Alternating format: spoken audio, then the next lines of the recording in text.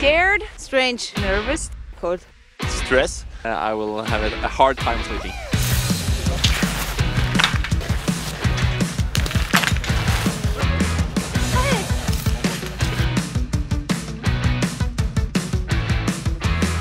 The night before a competition is always uh, really exciting uh, for me.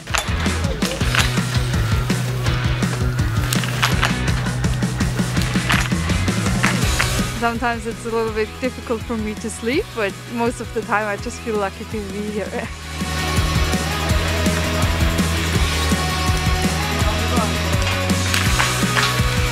Nervous for sure.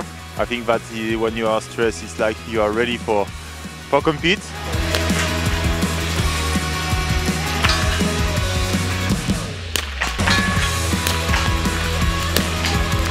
I've uh, set myself some pretty high goals this season, so uh, I know every race is important if you're going to fight for the overall total score. But I'm not afraid, afraid to say it. I, I want to win, but uh, it will be a marathon, not a sprint, I think. Oh my goodness.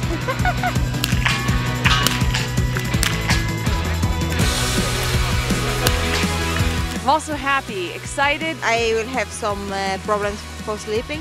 Nervous for sure. Like every race. really cold. I say excited, excited.